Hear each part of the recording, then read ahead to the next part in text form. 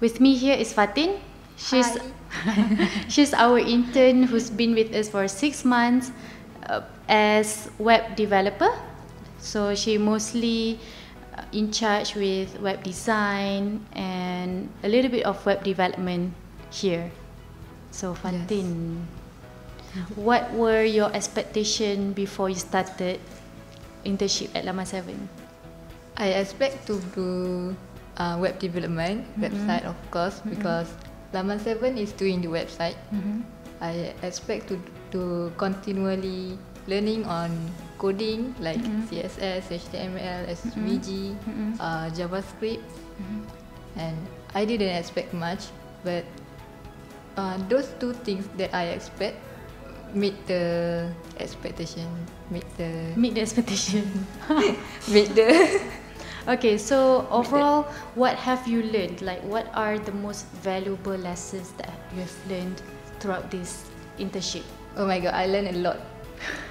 Lama Seven taught me a lot from to from the coding, the smallest part, to the life lesson, which is um, the coding, which is CSS and and all about the web development, about the system dan database server and all how to how to do the domain mm-hmm. domain stuff and all.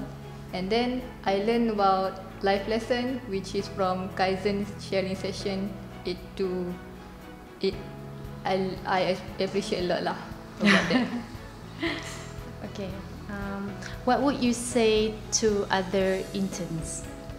To other interns who will uh, already here all the best to you.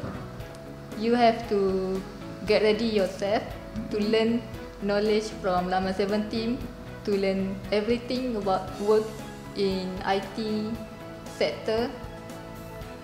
Everything you will learn, um, everything you will learn out of the box, like the life lesson, of course, uh, the development, how to deal with customer, client, how to how to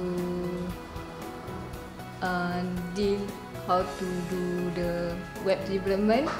Simple but very nice. Like that. Okay, okay interesting it.